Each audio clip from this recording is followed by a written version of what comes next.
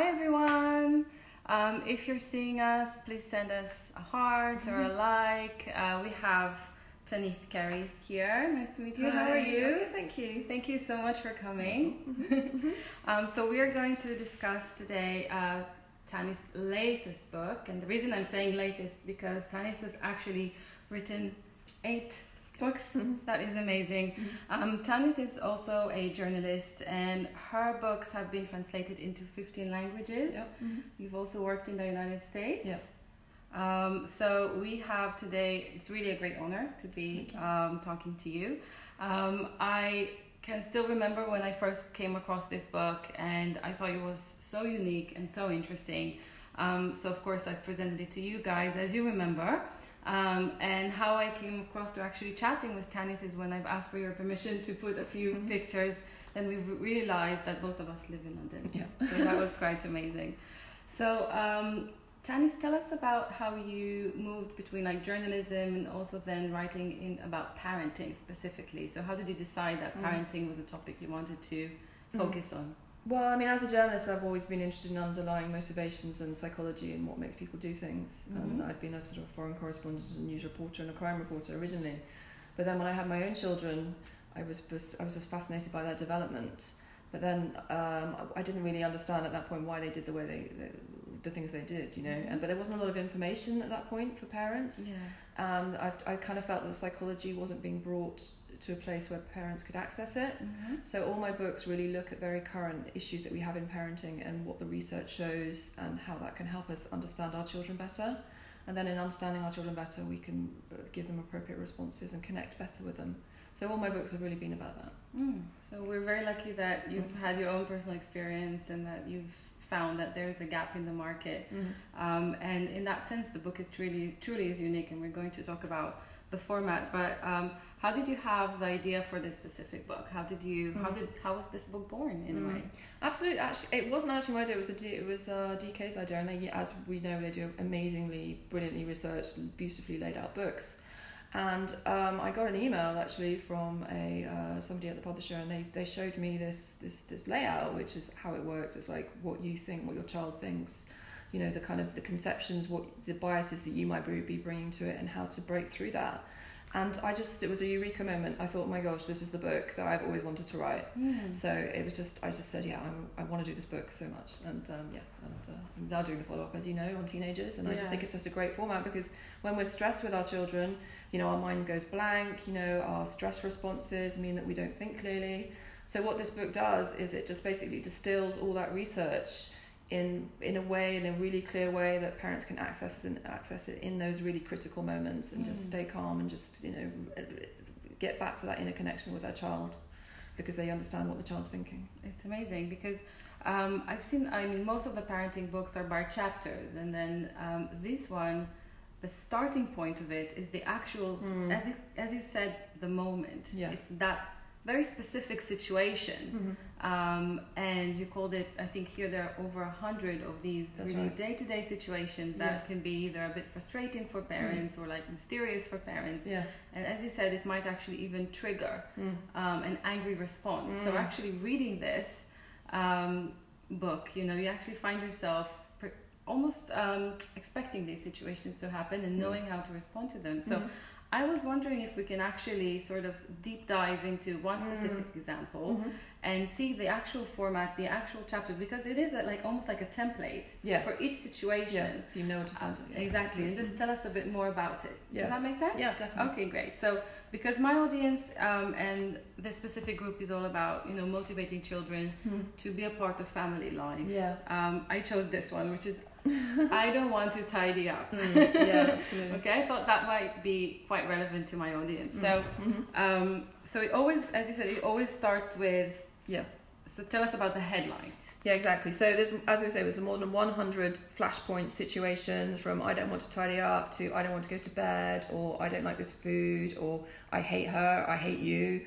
Uh, and also really difficult situations. A lot of stuff gets glossed over in parenting literature, but so those those really difficult situations. Like I say, when you what do you say when your child says they hate you? You know what kind of angst does that bring up on you? So yeah, we really tried to uh, cover every single common flashpoint, and it's divided into um, two to three year olds, four to five year olds, and six to seven year olds. And in each case, we look. Um, I wrote. I, I, should say I wrote, wrote this book with a, a brilliant um, child psychologist called Dr. Angharad Rudkin, who's got three children of her own, and I've got two. And we basically filter it through the developmental psychology. So obviously, children are changing incredibly quickly at this age, and their, their thinking, their rationale, their brain development is evolving. So basically, in each case, we will look at, at the situation through the window of that child development. So, so we've got this, we've got that, that's the problem. This is the summary. Then we have the scenario. So here we have the living room is littered with toys, but your child does nothing when you ask her to help them put, put you away. I mean, who hasn't been through that situation? Absolutely. And then basically all those uh, emotions that you feel as a parent, it's like, well, you might think, well, she constantly creates a mess for me to clean up. It's exhausting. Doesn't she care about all her things? So all these, this kind of inner dialogue, which actually in the moment is not helpful. So then we look at what she's thinking. So you, you, to connect with your child she's thinking, well, I don't want my toys to disappear, and there are so many on the floor, I don't know where to start. So this, this, and then obviously this is just a, a quick summary, but this taps into the fact that children can feel overwhelmed. When you put their toys away, they can feel like the toys, the toys being swallowed up. It's going to disappear. It's never going to come back. If they've spent like ten minutes creating, or sorry, half an hour creating a beautiful Lego village, and you're basically asking them to break that village all up, how does that feel to the child? So we need to acknowledge those things. We can get around those things. We could take a picture before we break it up. We could put it to mm. one side. We could make tidying up fun. We could. Um, we, there's all sorts of, and then so we go in the moment. So in the exact second, what do you say in that moment? Mm-hmm. And then we also look in long in the long term. So there's five different solutions. So I just want to show this to my audience how amazing that is. so because you know we have the in the moment, right? So this is dealing with the kids at the point that they are now yeah. things that we could do on the spot. Yeah. Mm-hmm. But then you have also the long term solutions. So, how did you think about? I mean, that is a brilliant thing, right? Mm. So we can sort of prevent things, we can anticipate yeah, things. exactly. And also, what I loved about it is sometimes the solution is also applicable for older kids. Mm. So if you have, you know, if you have more than one child and one of them falls into this age cohort of two to seven, yeah. but then you have older children as well, yeah. don't put this book aside. There's a lot of tips here that are applicable for older children because yeah. you are giving the long-term solutions Absolutely. as well. Yeah, exactly. So how did you? This is for me also like a wow, that's brilliant. How did you think about not only giving these tips mm. for mm. Um, for the moment, but also for long term? Yeah, absolutely. Because it's not just the what we do at that second and what we say. It's just about how we think about our parenting generally and how we approach that situation so we can um, head off these situations rather than react in the moment. So there's kind of reactive mm. things and there's proactive things. So that's how we divide it. So, yeah. Fantastic. Mm-hmm. Um, and then there's also there's also when it, like all these bits at the bottom. So what are they all about? So there's yeah. like one, two, three. Mm-hmm. So for example, here uh, when the child says, "I don't," you hear your child say, "I don't want to try tidy up," but what is your child actually thinking? What's actually going through her thought processes? So here. I mean, it looks short, but actually, this is a contraction of a quite a lot of quite a lot of child psychology here. But obviously, I wouldn't want to bog you down with reams and reams of it. So here, for example, I go, when your child is absorbed in playing, it makes sense for her to have all her playthings spread out but still within easy reach. Then she can stretch her imagination and can create and create new games by using them together, making a house of bricks for her, her play figures and animals, for, for instance. And then basically underneath what you might think, while you may prefer uh, order and less chaos in your house, your child doesn't doesn't like you see the mess as annoying. Most adults like to have homes for their things. Sorry, most adults like to have homes for the things to be put away your child will need to learn this over time. So it's really kind of, I think, you know, we forget what it's like to be children, don't we, quite quickly? Yeah. And we think a lot about our anxiety and what we need to do in the moment. So it's really just about kind of getting back in your child's headspace so that you can communicate and connect and respond and not make a situation worse. Because this is a kind of situation that could easily get very, very um, inflamed or very irate, and you can get irate and you can feel resentful, and the child is just doesn't know how to respond. The child feels overwhelmed. So, but I mean, just by sort of looking into their mind and thinking what they're thinking, then you can just respond appropriately and keep things calm and mm. happier. That's really the view of the. Amazing. Mm. Um, another thing I found really useful is that, you know, as I said, every every piece of information on this page is like gold, right? So mm. you have like related topics so it's just like yeah, things like that. Things cross referenced, really, yeah, absolutely. Yeah. yeah. So it's just things like that that make it so user friendly and yeah. so reader friendly for a mom. So I'm like, let's say I have an issue with tidiness or something like that. Mm-hmm. There, then it's really well laid out. Which page, which other pages I should go to if this is the issue I'm dealing with because they're Yeah. all related in a way. So I get a more like holistic solution to the situation. Um, but yeah, that's what I'm saying. It's it's such a such easy to read in a day where our attention spans are like really really short, Yeah. aren't they? And we're used to sort of like bite-sized information. Yeah. So instead of like learning on the entire psychology of two to three years old, Mm, um, you're coming from a specific point of need. yeah. You know, like what do you need? What do I need at the moment? And of course.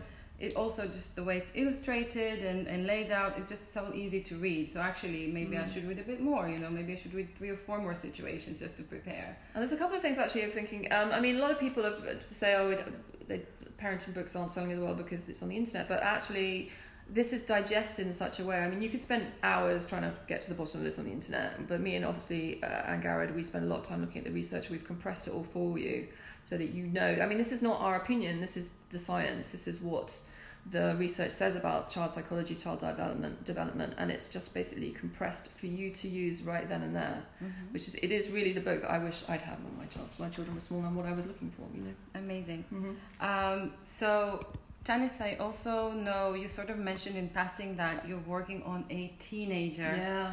follow up. whoop, whoop. I have two of them and a tween, so I literally can't wait. So, by teenager, so if this is um, until page until age seven, Yeah.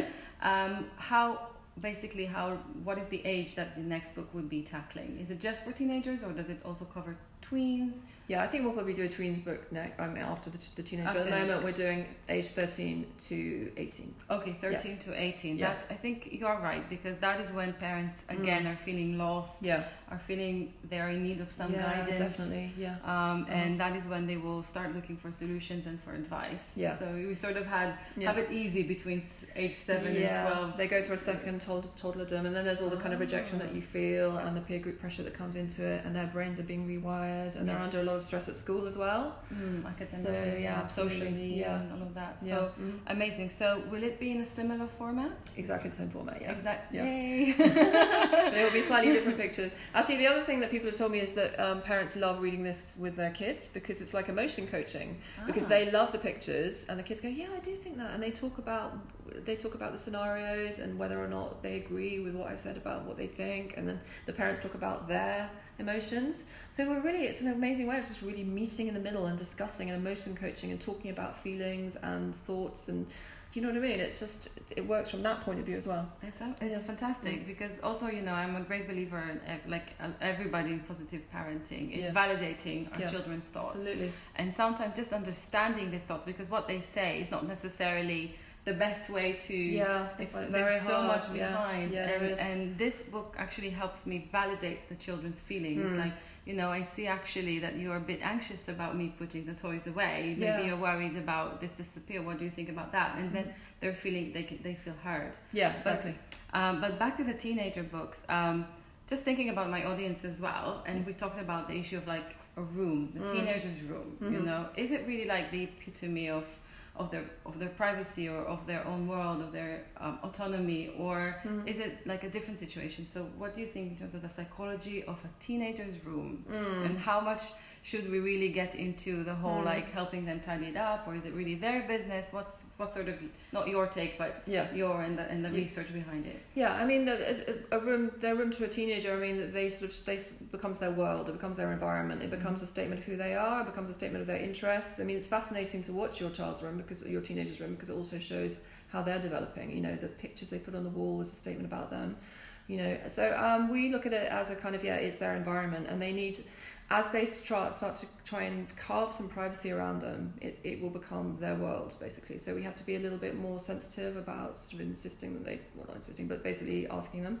So, I mean, but then uh, at the same time, parents can feel very disrespected if their teenager's room is a mess. They feel, well, I bought all these things for you, and as you say, it's like the floor, floor drobe you know, all the clothes you just bought, you just bought her a gorgeous dress, it's on the floor, you're like, oh, you know, so you're triggered then. yeah So it's just a question of kind of, um, in the same way as you would with a young child, it's kind of a little bit of emotion coaching. I think the research shows that um, uh, teenagers can only hold on to about three pieces of information at one time. So if you just go in and just say, "Oh, let's just tidy this up, do this, do that, do that," they're just going to close right down. Right. So yeah, so in the same way as we say in that scenario was like, well, if you can break it down into steps. If you could show it's to their advantage, for example, your clothes, that dress is going to look an awful lot better Mm. if you hang it up um, and just talk it through. Yeah, just see it from their point of view and just kind of don't feel that it's a slight on you. It's part of their natural brain development, and you know they will emerge from it. Their house won't always look this bad.